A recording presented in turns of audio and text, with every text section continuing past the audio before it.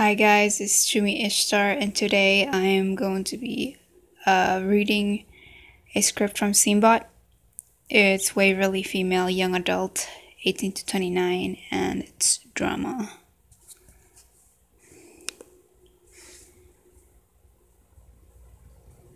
I'm gonna up the Waverly.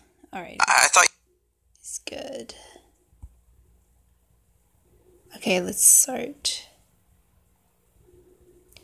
Welcome to Burger Hut. Can I take your order? Waverly. I, I thought you went off to college. I did, but I'm back. I just took a semester off. I'm going back in the fall though. Oh, good. You? Uh, I'm just back visiting, helping my dad with some stuff. I'm thinking of dropping out. Of college? I don't think I'm cut out for it. I get it. That's how I felt. It's so hard.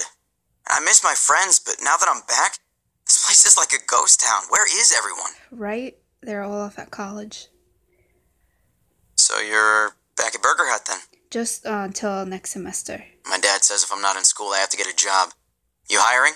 You do not want to work here. No, I know. I, I was just kidding. Honestly, I made a mistake.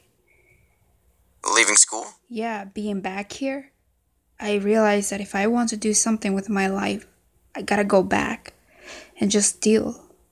Figure it out. And that's it for that. Uh, thank you for watching.